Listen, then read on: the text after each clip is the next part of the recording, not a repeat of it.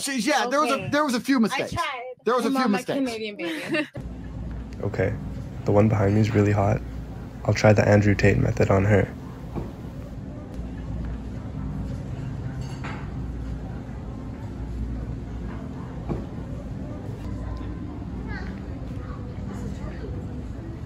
So the first thing you do is get their attention. To get their attention in a very calm, slow, cool way. So I'm like, excuse me, excuse me. Very like, don't be worried. I'm not gonna attack you. Excuse me. I'm So sorry to bother you. Once you have their attention, I make my intention clear. I just want to say you are absolutely beautiful.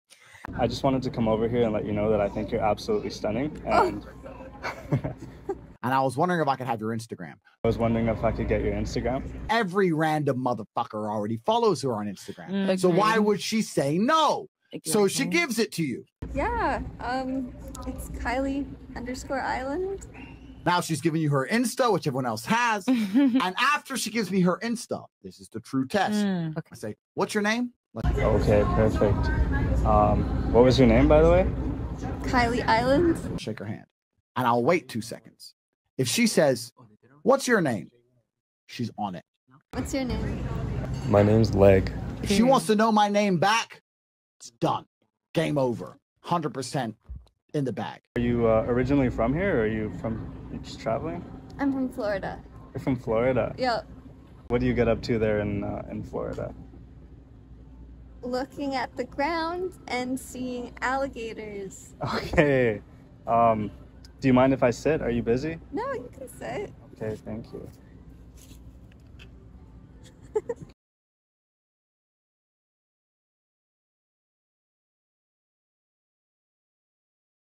What do you do? Do you do little TikTok dances? Yo, What are you doing here with your dentist? I'm a paleontologist, not a dentist. Oh, you know what? My plants are pretty sick.